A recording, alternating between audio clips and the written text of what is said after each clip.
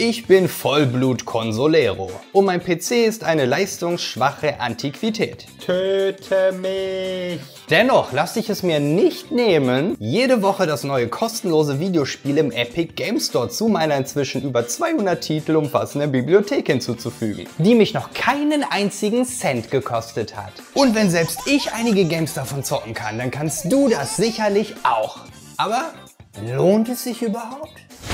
Dark in der Complete Edition ist ein Gravitationspuzzler. Lloyd, augenscheinlich der Neffe von Jack Skellington, legt sich in seiner Crackhöhle von Wohnung schlafen und landet in einer bizarren Traumwelt. Hier treiben sich nicht nur einige unheimliche Wesen in den Schatten herum, hier hat Lloyd auch die Macht über die Schwerkraft. Egal wo seine Beine hintreten, da ist ab sofort unten.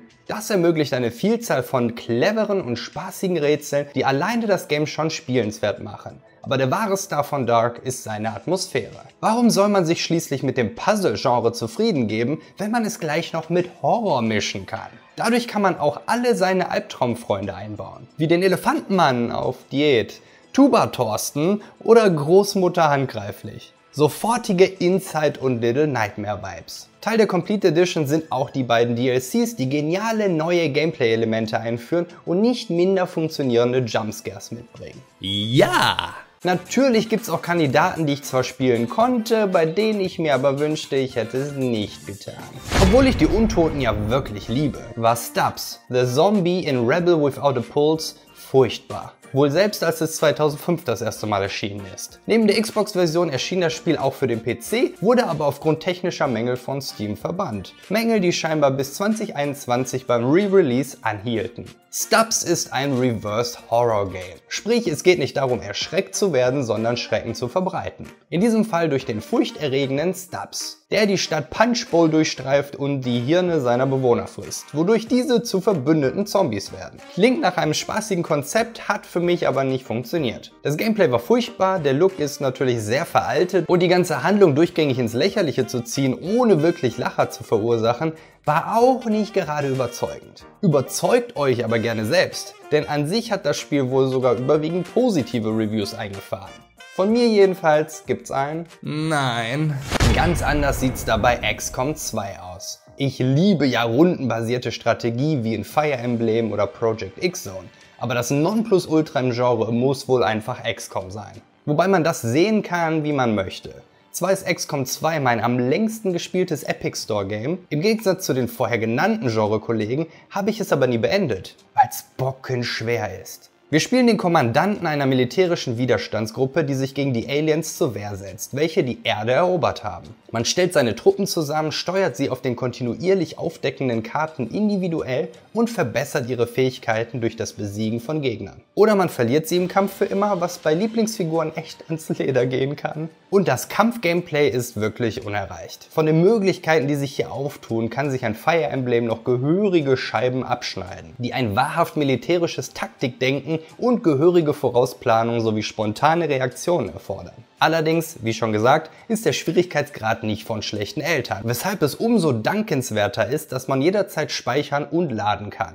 Unnötig und störend fand ich allerdings das Management des Hauptquartiers, das man ausbauen und verbessern kann und wo man zum Beispiel an Waffen und Rüstungen forschen lässt. Killer war für mich aber der Zeitdruck auf der Weltkarte im späteren Spielverlauf, der einen in einer vorgegebenen Zeit zu bestimmten Missionen drängt, um das Game Over zu vermeiden. Ich lass mich nicht rumkommandieren. Bin schließlich kein XCOM-Charakter. Trotzdem saugeiles Spiel. Ja! Als Fan von Story Games und Cartoon-Grafik bin ich sofort angesprungen auf The Lion Song. Wäre ich mal dran vorbeigesprungen. Oder drauf. Immer und immer wieder. Das muss das langweiligste Spiel sein, das ich seit Jahren angezockt habe. Entwickelt von Österreichern und 2016 vom Deutschen Entwicklerpreis als bestes Indie-Spiel ausgezeichnet. Muss dasselbe Prinzip sein wie bei den Oscars. Die Gewinnerfilme sind auch meistens irgendwelche hochkünstlerischen Narkosemittel. Jedenfalls wird in vier Episoden die Geschichte eines Malers, einer Komponistin, eines Autors und einer Mathematikerin erzählt. Mathe, yay! Also spätestens hier wusste ich, dass der Spaß vorbei war. Das Ding ist ein recht minimalistisches Point-and-Click-Adventure mit einem großen Fokus auf Dialoge und deren Antwortoptionen und das Darstellen der Denkprozesse der für mich persönlich furchtbar öden Charaktere. Muss man mögen, schätze ich, oder halt auch nicht. Eher nicht. Nein.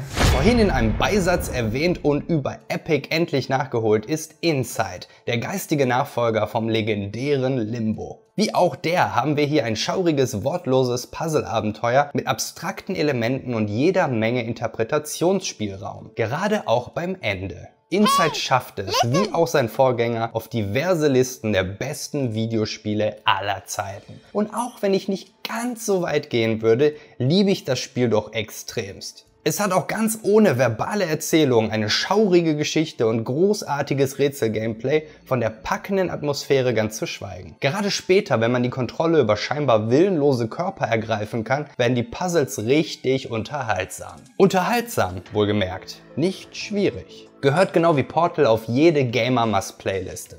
Vor allem umsonst. Ja! Wenn du noch weitere Möglichkeiten suchst, kostenlos zu zocken, habe ich hier ein paar Ideen für dich zusammengefasst. Madelord, das bin ich. Be with you.